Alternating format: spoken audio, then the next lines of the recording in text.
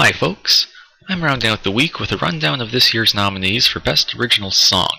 Normally with these videos I try to provide an accurate prediction for who I think will win based on reasonable arguments instead of blind guesswork, but truth be told, this category has me at a bit of a loss. I could see the Oscar going to any of the four nominees, but I'll try my best to suss out the most likely scenarios. The first nominee is the song If I Rise from 127 Hours by A.R. Rahman, Dido, and Rollo Armstrong.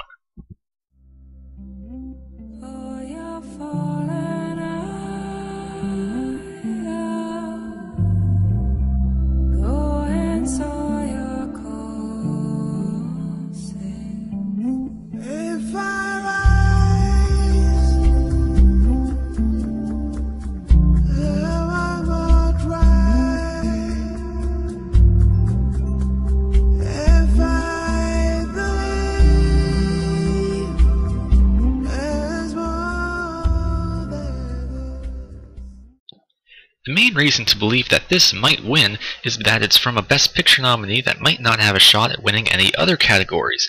If voters want to give it something to take home from its six nominations, it might be this one. But I'm not as convinced by that argument as I am by the arguments you can make for the other nominees. The song doesn't exactly come off as catchy, the lyrics are somewhat puzzling, and even though it plays during a big moment in the film, it does so very briefly, so much so that I wonder if most voters would even remember it. It's not out of the running, but it does have some handicaps that may keep it out of the winner's circle.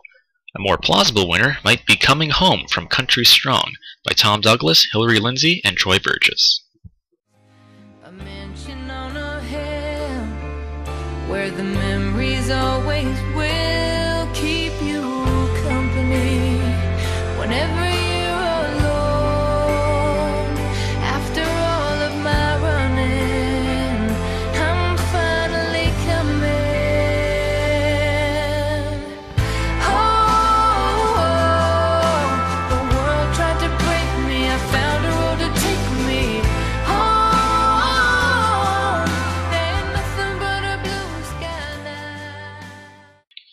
In similar fashion to last year's winner, The Weary Kind from Crazy Heart, this song sort of bobs in and out throughout the movie before making a grand appearance at the film's finale, whereupon Gwyneth Paltrow belts it out to memorable effect.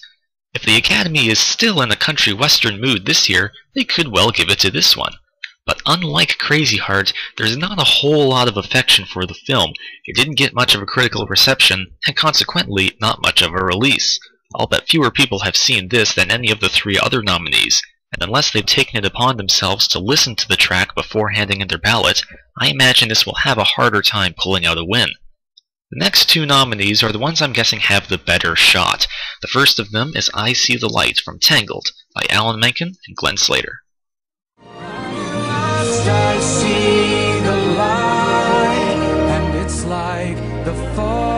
Is lifted and at last I see the light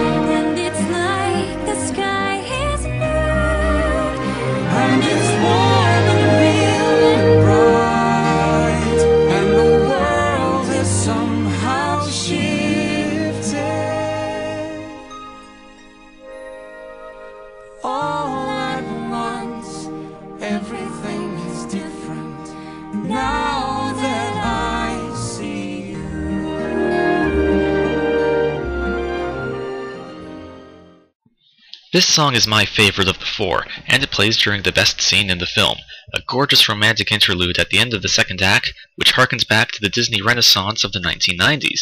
Anyone who grew up watching those films should be very familiar with Alan Menken's work, which in the span of just six short years brought him a staggering eight Academy Awards for his unforgettable music.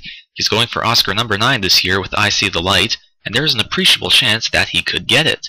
He and Glenn Slater wrote a whole bunch of songs for Tangled, but the studio chose only to submit this one track for consideration in order to circumvent the risk of splitting the vote with the other songs. A wise move if you ask me, and one that could pay off with a win if voters are feeling nostalgic and want to reward the film for its appealing throwback to vintage Disney. The final nominee is Randy Newman's We Belong Together from Toy Story 3.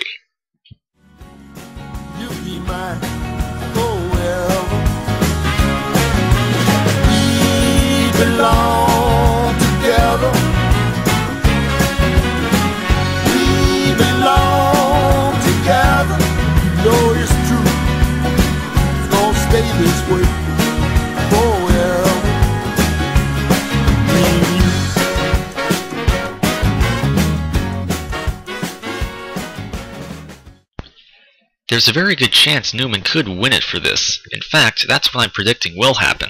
Like If I Rise, this song has the benefit of being in a Best Picture nominee, which already means it has a lot of built-in support.